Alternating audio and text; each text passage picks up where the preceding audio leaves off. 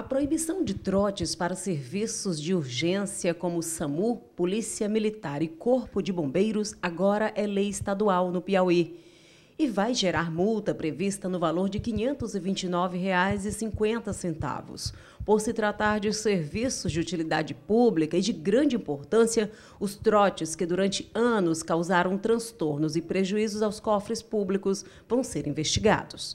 O SAMU ele trabalha muito próximo da sua capacidade de atendimento. As ambulâncias geralmente não param, tiram um horáriozinho para almoçar, para para trocar material e tudo. Então é sempre um extremamente cansativo o trabalho.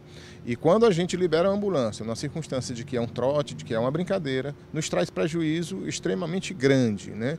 Certamente, toda vez que a ambulância sai para atender uma ocorrência que se trata de um trote, vai ter uma outra precisando de fato daquela ambulância. Por isso nos traz grande transtorno, grande problema. 2019, por exemplo, foi um ano bem difícil, né? Foi, foi sim. No total de trotes que a gente realmente registrou como trotes, foram 28 trotes durante o ano.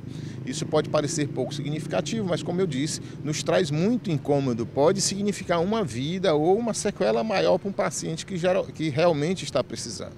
Não é uma brincadeira.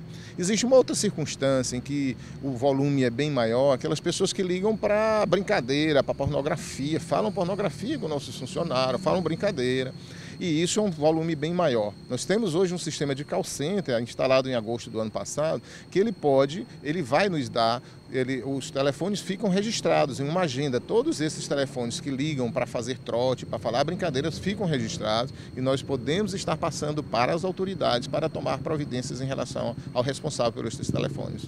A lei estadual de número 7.332 é de autoria do deputado estadual Gessivaldo Isaías, do PRB. O governo do estado tem 90 dias para regulamentar a lei.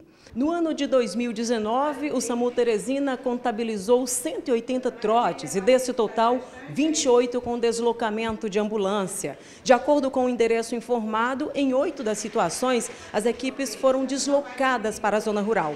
E se considerarmos a distância com a brincadeira de mau gosto, muita gente que precisava do atendimento médico de urgência deixou de ser atendida. A partir de agora, com a vigência da lei estadual, até as ligações feitas de telefones públicos serão investigadas. Para a direção técnica do SAMU Teresina, as expectativas sobre a lei estadual são positivas. Se a lei for de fato implementada, nos trará grande benefício. Nós poderemos estar diariamente passando os telefones, os números dos telefones para as autoridades, para que possam estar interpelando os responsáveis por esses números. Se isso for, for acontecer de fato, irá nos trazer grande benefício. Certamente irá diminuir, as pessoas irão ficar mais de olho nessa circunstância.